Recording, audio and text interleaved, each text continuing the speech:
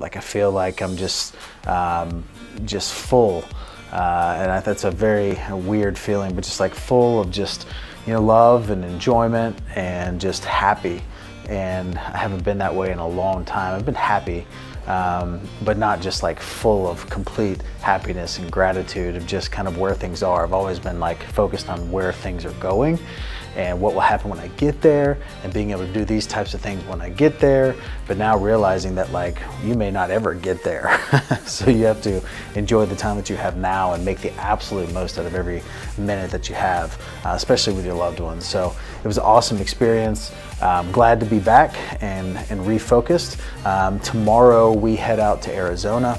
Uh, we're teaching a video workshop with Sean Whalen and Colby Kay uh, tomorrow in Phoenix, and then the Meltdown in the Desert event starts Friday. So uh, again, part of this priorities and reprioritizing my life.